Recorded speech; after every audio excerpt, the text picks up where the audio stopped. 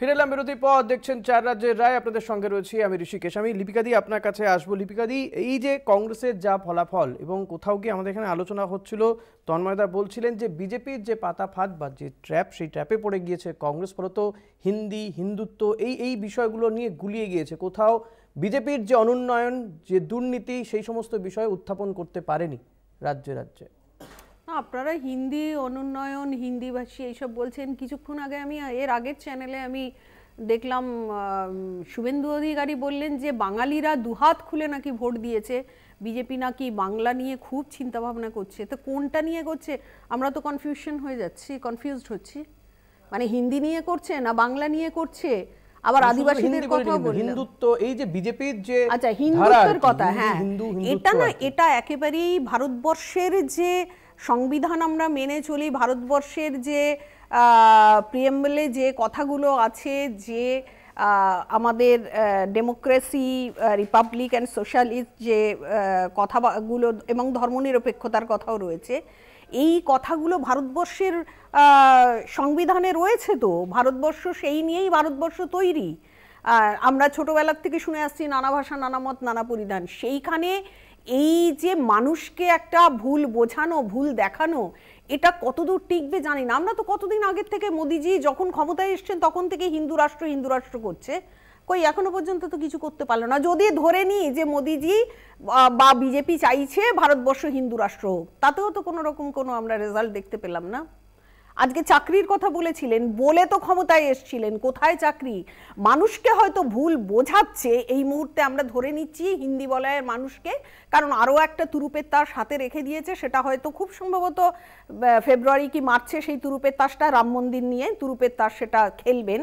কিন্তু আদেও একটা শিক্ষিত মানুষজন একটু চিন্তা করে দেখুন তো এই ধর্মকে রাজনীতির সঙ্গে মিলিয়ে যে জায়গায় নিয়ে যাচ্ছে ভারতবর্ষকে এটা কি ভবিষ্যতের জন্য ভালো হচ্ছে? ভালো হবে এটা আদেও? বিজেপি যেটা বলছে হ্যাঁ কংগ্রেস তো তার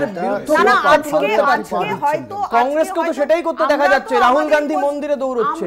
আমরা তিনিও রাম মন্দির উদ্বোধন হয়ে যাওয়ার পরে সেখানে ঘোষণা করছেন একই একই ট্র্যাকে যেতে বিরোধী বলিনি কিন্তু অন্য ধর্মকে প্রাধান্য না দিয়ে মন্দিরে যাওয়া মানেই কিন্তু তিনি হিন্দু ধর্মে ছাড়া বাদবাকি সমস্ত ধর্মকে সরিয়ে দিলেন।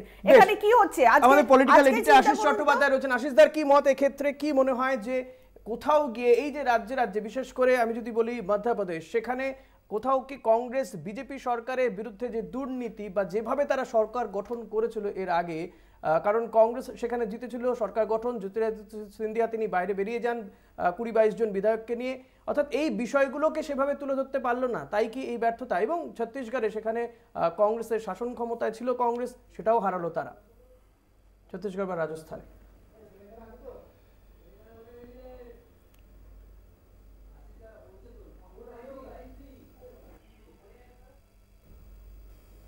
যে দু হাজার উনিশ সালে এই রাজ্যগুলোতে বিজেপি যত পার্সেন্ট ভোট পেয়েছিল, এবার থেকে অনেক কম পার্সেন্ট ভোট পেয়েছে। এই রাজ্যগুলোতে বিজেপি যতগুলো সিট জিতেছিল, সেটাকে যদি বিধানসভার আসন সংখ্যায় কনভার্ট করা হয়, তাহলে যতগুলোতে জেতার কথা, তার থেকে অনেক কম সিট পেয়েছে। সুতরাং এখানে কিন্তু খুব নেক টু নেক লড়াই হয়েছে। কোথাও দু পার্সেন্ট কোথাও তিন পার্সেন্ট ভোটে বিজয়ী পক্ষ এগিয়ে রয়েছে। আমরা ঠিক এই রকমটাই দেখেছিলাম দু হাজার আঠেরোতে যখন এই রাজ্যগুলোতে কংগ্রেস জিতেছিল, অনেকে মনে করেছিল যে দু হাজার উনিশে একেবারে কংগ্রেসের এই রাজ্যগুলোতে খুব ভালো ফল হবে, কিন্তু ঠিক তার উল্টো হয়েছিল।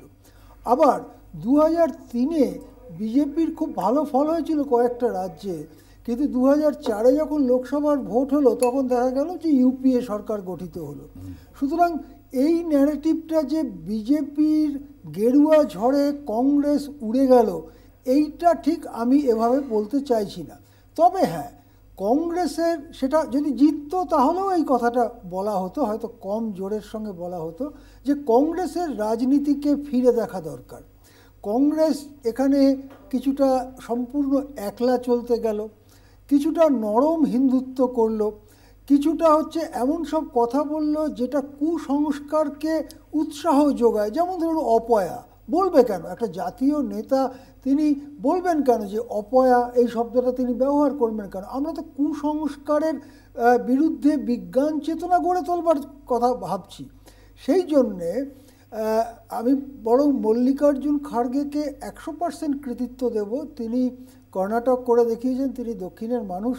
তিনি তেলেঙ্গানায় প্রধান সেনাপতির ভূমিকায় ছিলেন এবং মল্লিকার্জুন খাড়গে অনেক দিন বাদে কংগ্রেসে গান্ধী পরিবারের বাইরে একজন খুব যোগ্য সভাপতি পেয়েছে বলে মনে হয়।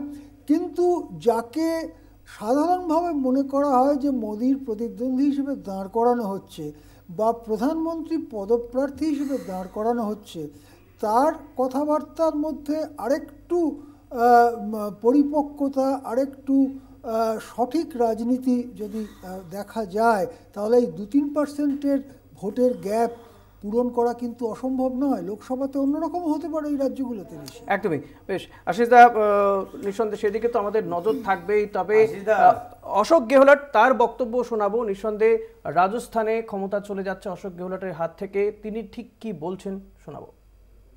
पर जो भी मैंडेट आया है जनता का। मैंने पहले कहा जनता हमारी बात पे लोकतंत्र में जो भी फैसला आएगा उसको हम विथ ह्यूमिलिटी स्वीकार करें। और नई सरकार जो बनेगी उसको हमारी शुभकामनाएँ हैं।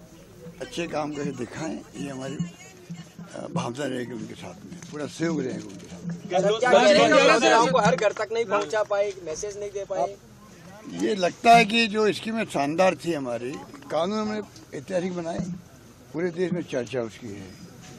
इसकी मैं ऐसी बनाई जो पूरे देश में चर्चा हो रही है। पहली बार राजस्थान की चर्चा हिंदुस्तान के हर राज्य में होती है। और गारंटी हमने दी वो शानदार थी। उसके बावजूद भी जो नतीजे आए हैं तो चौंकाने वाले गहलोत क्या मानते हैं? ऐसे नतीजे?